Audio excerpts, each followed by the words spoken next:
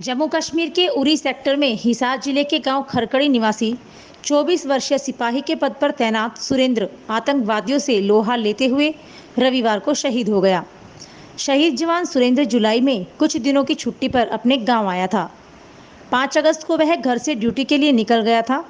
7 अगस्त को जम्मू कश्मीर के उरी सेक्टर में सेना के सर्च ऑपरेशन अभियान के दौरान आतंकवादियों से लोहा लेते हुए सुरेंद्र वीरगति को प्राप्त हो गया। सुरेंद्र के पिता किसान हैं और गाँव में ही खेती बाड़ी करते हैं। सुरेंद्र की आठ महीने पहले ही शादी हुई थी।